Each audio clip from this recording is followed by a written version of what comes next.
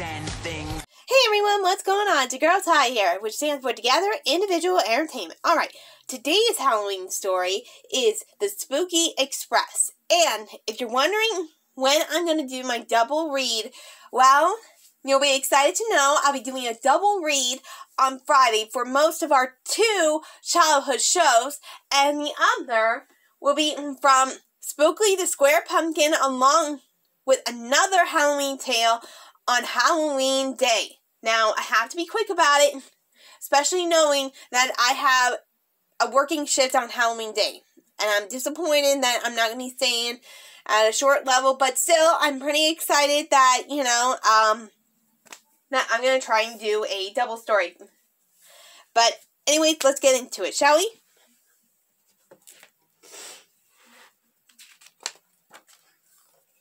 Spooky Express Pittsburgh Halloween Thrill Ride.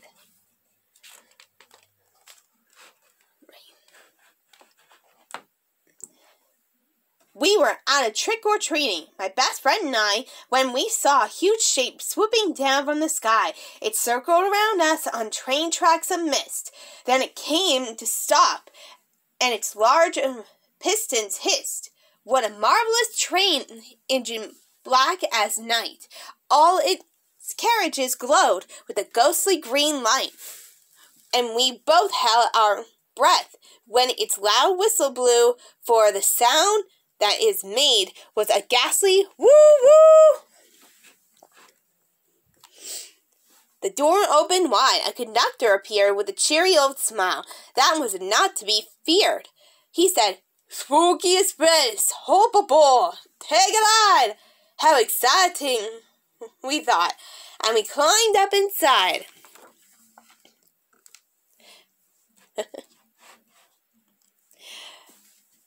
we looked all around, and what a wonderful sight we saw. Ghosts to our left, we saw ghouls to our right. There were mummies in tatters, and witches in hats, and ogres, and werewolves, and vampire bats.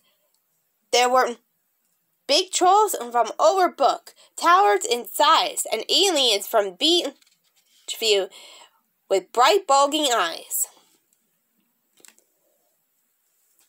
A voice on the speaker said, Please hold on tight. Then the train gave a lurch and launched into the night. We glided along through the dark, stormy sky, and we watched as the streets of Homewood whizzed on by. We zipped over Squirrel Hill, saw bright lights. We looked down on North Shore from drizzling heights. The ride was fantastic, but where were we going? We sped over onward with no signs of slowing. Ohio River next, said the train's engineer. Make room for the creatures who'll swim aboard here. We, he slammed on the brakes, and I thought we would crash, but we dropped in a stone, and the whole train went splash. After the river, another strange stop up a really tall tower on the side near the top. Mount Washington next, where the big ogre, ogres dwell. Then down the old sewers. Oh, the sewer folks smell. As we reached to our next stop, the train turned too fast, and I saw through the window a pumpkin whiz past. The ghost started howling. What happened? I said. We're doomed, cried a witch. That's the engineer's head. If the engineer's headless, he can't steer the train, for his head, where he keeps both his eyes and his brain. He yanked levers forward. He jerked levers back. The train started wobbling all over the track. We swerved around buildings. We darted past trees. The speed of the turns made us weak at the knees. While everyone panicked, I stood up and said, with the help of some friends, we can go get that head. Miss Witch, I said calmly, your broom is, if I may. Miss Spider, Miss Dragon, let's go save the day. The engineer's head was in Riverview Park. Miss Dragon, I said, will you light up the dark? It's there, said my friend. It's directly below, but it's down in the mud, and it's stuck there. Oh no! I turned to Miss Spider. Please spin us some thread. I've got an idea. We also we will lasso that head. We twirled it around, threw it over the top, and we pulled the head free with a scrunch and a pop. Then back we flew through the wind and the rain, with the pumpkin containing the engineer's brain. With his pet on our heads, we jumped back on the train, and we stuck his head onto his shoulders again. He pulled a few levers, the ghost train slowed down. Do you know where we're? We were back in our town.